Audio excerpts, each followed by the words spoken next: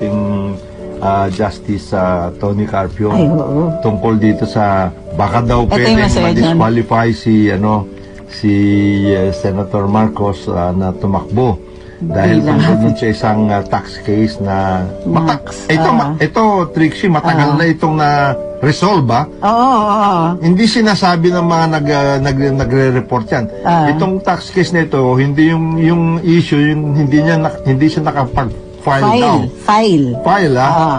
Noong 19 from 1982 to 1985 na Okay. kanyang tax returns.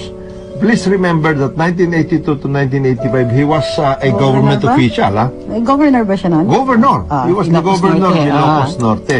And that uh, any uh, person will know na if you are in government, you file, uh, you file of course your uh, the tax return, etc. But meron kang withholding uh, withholding tax. So yung tungkol sa payment, palagay ko nabayaran yun eh. Kaya siya na-fine. Ah. Na-fine siya ng uh, Failure to file. Failure to file. Ah. Not for uh, tax not, Not for tax evasion, or ha. Take note, like guys. Oo. Baka may mag, ano niyan, may mag fake news niyan. Mm. Hindi po tax evasion to kasi may obligasyon tayo mag-file ng return. Yes. Kahit, kunwari, nasa gobyerno, Gobyerno ka, may withholding magpa-file tax. ka ng return, ikakabit mo yung certificates of withholding tax Yes, mo. mo. Oo, kahit wala kang babayaran na tax, kahit zero yung rate mo, o kahit Magpa-file ka pa rin. Oh, in the case of family, meron silang tax credits dahil nag-overpay sila sa certain year, i- i-allege Ayos mo yun. doon. Oo. Mhm. Mm. So, sabi ni Justice Carpio, galing niya, in fairness, ang galing niya nahukay niya yung kaso. No? Mm. Daming ganyang kalkalan na kasi ngayong araw. Panahon na ng kalkalan kasi ngayon. Mm. In this case, from 1982 to 1985, failure to file return. Mm. So, nung bumalik na si Senator, ah, si, si BBM dito sa Pilipinas, Kasi na-exile sila. ah. Ah, inayos naman nila immediately. So, kaya lang, sabi niya, yun nga, failure to file lang yan. So, dapat nga, fine lang yan, and so on. Pero nilabanan nila yung kaso all the way to the Court of Appeals. Yes, siya. yes, yes. Sa Court of Appeals, eventually, winidraw na lang nila at binayaran nila yung fine. So, meron technically conviction. Pero ang conviction niya is for a fine. Mm. To pay a fine. To pay a fine. Oh. Okay? Wala kasing taxes na babayaran kasi nga failure to file, withheld na yung taxes niya. Matagal nang nabayad yun sa gobyerno.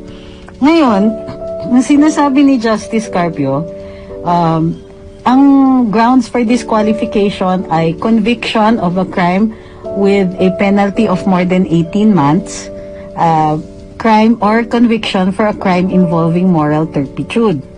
Mm. Ngayon, since hindi siya papasok dun sa 18 months na rule, kasi ah, ang Court of Appeal, sinet nila yung penalty to a mere fine, sabi ngayon ni Justice Carpio, pwedeng i-argue na crime involving moral turpitude yung failure to file. Mm. So, binalikan ko lahat ng jurisprudence kasi wala talagang law that says ito yung crimes of moral turpitude. Turpitude, ah. Nagde-decide ang Supreme Court case to case on that.